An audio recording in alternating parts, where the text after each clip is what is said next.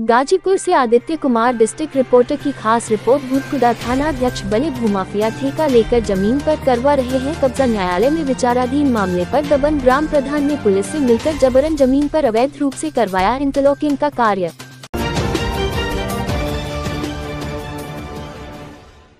कभी कभी प्रशासनिक कर्मचारी व विभागीय अधिकारियों द्वारा कुछ ऐसे कार्य किए जाते हैं जिसे देखने और सुनने के बाद लगता है कि यह किसी अनजान और अबोध व्यक्ति के द्वारा किया गया है। कुछ ऐसा ही मामला भुरकुदा कोतवाली अंतर्गत ग्राम नसरतपुर धीरजी से है, जहाँ पर पीड़ित चिंता देवी ने बताया कि ग्राम प्रधान हरेंद्र कुमार के द्वारा हमारी ज़मीन पर अवैध तरीके से इंटरलॉकिंग का कार्य करवाया जा रहा था, जिसे मैंने रोकने का प्रयास किया, लेकिन वह नहीं माने और पुलिस प्रशासन के बल पर ज़बरदस्ती इंटरलॉकिंग कार्य का करवा दिया और पीड़ित ने यह भी बताया कि चक्रोर जहाँ है वह बनवाए हमें कोई इतराज नहीं है, जबकि गाटा संख्या 136 व 137 के बाबत धारा 30 का मुकदमा विचाराधीन है तथा पुरानी धरोही 135 जिस पर दीवानी मूल वाद संख्या 745 बटा 2020 हरेंद्र कुमार वादी बनाम यशवंत प्रतिवादी गण प्रतिवादी विचाराधीन है और ग्राम न्यायालय जखनिया में विचाराधीन चल रहा है। इसके बाद भी जबरन कार्य करवाया गया। जिला अधिकारी महोदया इस मामले को संज्ञान में लेते हुए विभागीय स्तर पर उचित कार्रवाई करे ताकि पीड़ित परिवार को न्याय मिल सके।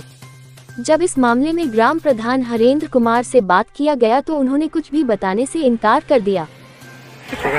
और नमस्कार, मैं हूँ आदित्य कुमार और आप देख रहे हैं अल्पाई एक्सप्रेस न्यूज़। इससे मौजूद हैं हम जिला गाजीपुर अंतर्गत जखनिया तहसील के ग्राम सभा नसरतपुर धिरजी में एक ऐसा मामला सुनने में आया है कि ग्राम प्रधान के द्वारा जबरन ज़मीन पर इंटरलॉकिंग का कार्य करवाया जा रहा है। जब हमने पीड़ित परिवार से यह जानने का प्रयास किया गया कि यह ज़मीन कैसी है और इस पे क्या कार्य करवाया जा रहा है तो पीड़ित परिवार ने बताया कि यह मेरी घर हुई है और यह मामला न्यायालय में विचाराधीन है। इसके बाबत जो ग्राम प्रधान है अपनी दबंगई से इस पे इंटरलॉकिंग का कार्य करवा रहा है। जब हमने शासन प्रशासन से भी गुहार लगाया और कई बार प्रयास किया कि इसे रोका जाए, लेकिन इसके बाबत प्रशासन भी दबंग प्रधान का साथ दे रही है और इसे जबरन इस पे कार्य करवाया जा रहा है। वहीं पीड़ित परिवार का यह भी कहना है कि कहीं न कहीं प्रशासन की मिली भगत से और इसके दबंगई से यह कार्य करवाया जा रहा है। क्योंकि जब यह मामला विचाराधीन चल रहा है तो ऐसे में कहीं न कहीं जो प्रशासनिक जो व्यक्ति हैं ये सारे सिस्टम की धजिया उड़ा रहे हैं। तो वही पीड़ित का यह भी कहना है कि जब मैं कल मौके पर मौजूद नहीं था तो मौके पे अ, नायब तहसीलदार और लेखपाल की टीम यहाँ मौजूद थी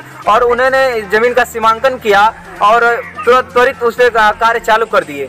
जबकि जो जिसपे ये मामला जो है जो खड़ंजा और इंटरलॉकिंग का कार्य जिसपे हो रहा है तो यह मामला जब न्यायालय में चल रहा है तो इसके विपरीत में क्यों कार्य करवाया जा रहा है? कहीं ना कहीं यह सवाल खड़ा होता है तो यह जाँच का विषय है। जाँच करके उचित कार्रवाई किया जाए जो पीड़ित है और उसे न्याय मिले जाए। आप देख रहे हैं अल्पा एक्सप्रेस आदित्य कुमार के साथ। क्या नाम है आपका? चिंता।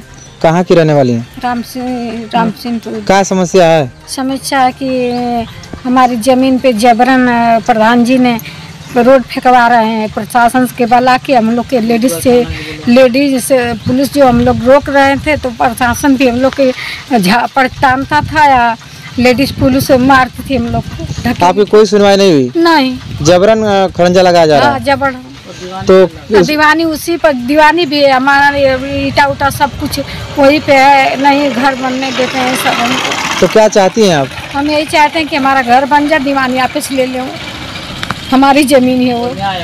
हमारे साथ। प्रधान जी अन्याय कर रहे हैं। दुश्मनी बाप दादा ले वो अब हमारे साथ कर रहे हैं। क्या नाम है आपका? सुनील कुमार। कहाँ के रहने वाले हैं? नसरतपुर धीर जी क्या समस्या है आपको?